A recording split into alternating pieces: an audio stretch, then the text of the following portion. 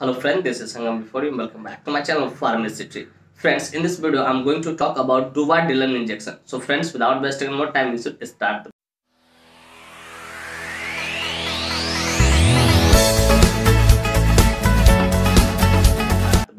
friends video को शुरू करने से पहले कुछ बातें मैं यहाँ पे शेयर करना चाहूँगा जो कि आपके लिए एक तरह से वार्निंग है फ्रेंड्स यह वीडियो सिर्फ़ जानकारी के उद्देश्य से बनाया जाए इस वीडियो को देखने के बाद कोई भी दवा आप खुद से न लें। कतई सेल्फ मेडिकेशन ना friends actually I don't support self medication at all so before taking any medicine और injection you must consult your doctor कोई भी दवा और इंजेक्शन लेने से पहले आप अपने डॉक्टर से ज़रूर कंसल्ट करें। तो फ्रेंड्स चलिए वीडियो की शुरुआत करते हैं। फ्रेंड्स आज का हमारा टॉपिक है इंजेक्शन डुबाडिलन या Duvadilan injection friends Duvadilan injection बहुत शानदार इंजेक्शन है, जिसका इस्तेमाल गायनोकोलॉजिस्ट द्वारा सबसे ज़्यादा किया जाता है।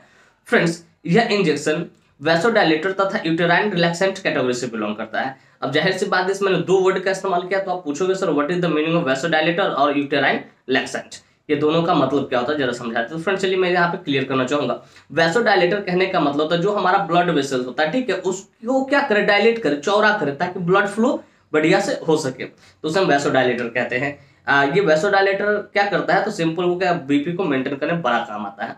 तो फ्रेंड्स मैं उम्मीद करता हूँ वैसोडाइलेटर आपको समझ आप चलिए यूटेराइन रिलैक्सेंट के बारे में बात करते हैं। यूटेराइन रिलैक्सेंट बड़ा सिंपल वर्ड है। इसका कहने का जो यूटेरस को रिलैक्स रखे उसको यूटेराइन रिलैक्सेंट कहते हैं। तो फ्रेंड्स मैं उम्मीद करता हूँ ये बातें आपको अच्छे से समझ में आ गई फ्रेंड्स चलिए बात करना चाहेंगे कौन सी कंपनी इसको मैन्युफैक्चर करते हैं? क्या इसके अंदर मोलिक्यूल्स पाए जाते हैं? क्या इसके यूसेज होते हैं? क्या इसके कंट्राइंडिकेशन होते हैं? क्या इसके साइड इफ़ेक्ट होते हैं? और क्या इसके डोज होते हैं? इन सारी बातों को हम लोग समझेंगे इस वीडियो में बहुत डिटेल से। Friends I will make you understand each and everything in a very simple way मैं यहाँ पे हर एक चीज़ों को समझाऊँगा और बहुत साधारण शब्दों में समझाऊँगा। तो friends first of all I like to talk about which company manufactures it कि सबसे पहले हम लोग ये बात करना चाहेंगे, कौन सी कंपनी इसको मैन्युफैक्चर करती है इंजेक्शन को? तो फ्रेंड्स यह जो इंजेक्शन होता है, वो अबाउट फार्मास्यूटिकल इंडस्ट्री द्वारा मैन्युफैक्चर किया जाता है, जो कि अपने आप में एक हाईली रेप्यूटेड फार्मास्यूटिकल इंडस्ट्री है। Friends this injection injection is basically friends this injection is basically manufactured by Abbott pharmaceutical industry friends इसका एक एम्पुल दो एम की आती है, जिसकी कीमत मार्केट में आपको पच्चीस से लेकर तीस रुपए के आसपास में होती है और उतने में अवेलेबल हो जाती है।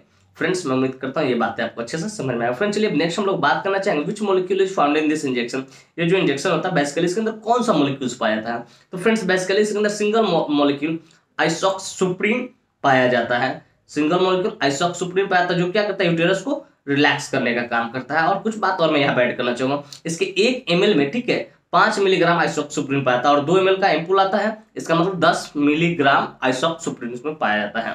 फ्रेंड्स मैं उम्मीद करता हूँ ये बात आपको अच्छे से समझ में आएगा। फ्रेंड्स चलिए बात करना चाहिए इसकी यूसेज के बारे में कि इसका इस्तेमाल कहाँ कहाँ किया जाता है। Friend where it is use कि कहाँ कहाँ इसका इस्तेमाल किया जाता है।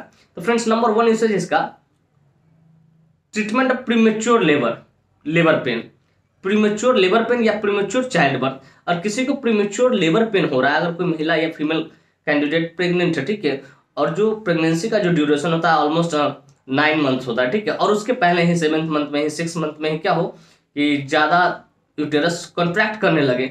लाइक लेबर पेन हो रहा है। लेबर पेन होने का मतलब कि बेबी आउट हो सकता है यूटेरस से, ये होता है लेबर पेन का मतलब। तो प्रीमेच्योर लेबर पेन होता है, क्योंकि टाइम पूरा हुआ नहीं है प्रेगनेंसी का, ठीक है? और वो जब प्रीमेच्योर लेबर पेन हो तो उसको ठीक करने के लिए इसका इस्तेमाल किया जाता है। फिर कहते हैं to treat threatened abortion threatened abortion भी एक तरह का डिज़ीज़ है, जिसमें क्या होता है कि बच्चा दो तीन महीने के बाद क्या होता है? अबोट होने का चांस ज़्यादा तो उसको भी ठीक करने के लिए इसका इस्तेमाल किया जाता है। तो बेसिकली दो इसके मेन यूसेज होते हैं।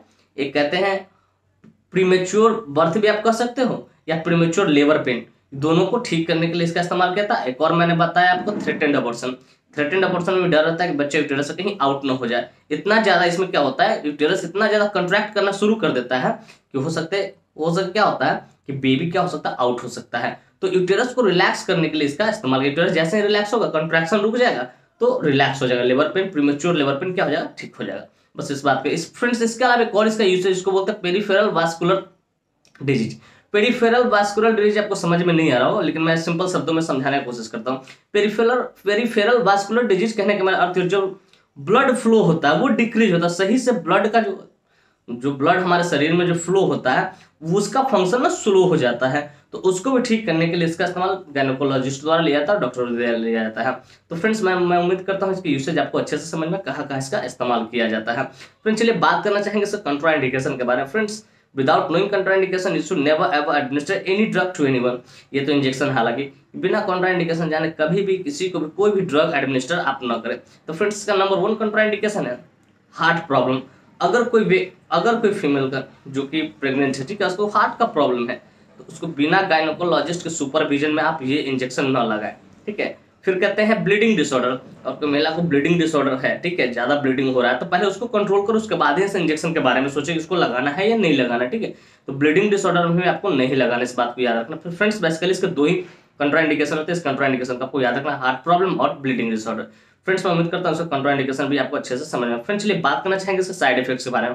फ्रेंड्स बेसिकली इसका कोई ज़्यादा साइड इफ़ेक्ट नहीं होता, बस दो तीन होते हैं। चलिए उस बारे में बात करते हैं। नंबर वन है डिजीनेस आपको क्या हो, चक्कर आएगा, ठीक है? उसके बाद कहते हैं पाल्पिटेशन आपका धड़कन जो है, दिल वो क्या हो जाएगा, बढ़ जाएगा। इस बात को आप याद रखते दो इसके साइड इफेक्ट्स इस तरह का कोई भी साइड इफ़ेक्ट दिखे तुरंत आप अपने गायनिकोलॉजिस्ट या जो भी डॉक्टर आपको ट्रीट कर रहे हैं, ठीक है, उनसे कंसल्ट करें ताकि इसके जगह वो दूसरे ब्रांड को लिख, जैसे यूडिलन हो सकते हैं, दूसरा कोई भी ब्रांड लिख सकते हैं। तो फ्रेंड्स मैं उम्मीद करता हूँ साइड इफेक्ट्स आपको समझ में फ्रेंड्स चलिए बात करते हैं इसके डोज के बारे में। फ्रेंड्स बेसिकली इसका जो डोज होता है, जो हॉस्पिटल में चलाया जाता है, ऐसे टैबलेट फॉर्म पे चलता है, उसमें मैं कभी अलग से वीडियो बना दूँगा, कैसे लेना है, क्या करना है, ठीक है। लेकिन इसका जो हॉस्पिटल डोज होता है, उसको क्या करता हूँ, एक एम्पूल को क्या करते हैं, पाँच सौ एम एनएस के या डीएनएस के साथ या आरएल के साथ ड्रिप करके चलाया जाता है, ताकि उससे क्या हो कि धीरे धीरे यूटेरस क्या हो, कॉन्ट्रैक्ट करना कम कर दे और रिलैक्स हो जाए। और रिलैक्स हो जाएगा, तब वो प्रीमेच्योर लेबर जो पेन होता है प्रीमेच्योर चाइल्ड बर्थ होता है, वो बला टल जाएगी।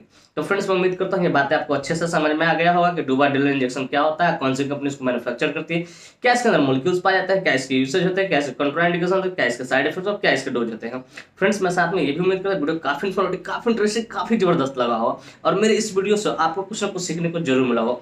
Friends if you find this video informative interesting hit the like button, subscribe my channel, don't forget to share it with your medical friends and your thank you for watching this video bye bye take care फिर मिलते हैं next video में. तक लिए स्वस्थ रहिए, मस्त रहिए, ख्याल रखिए अपना और अपने परिवार का. थैंक यू धन्यवाद.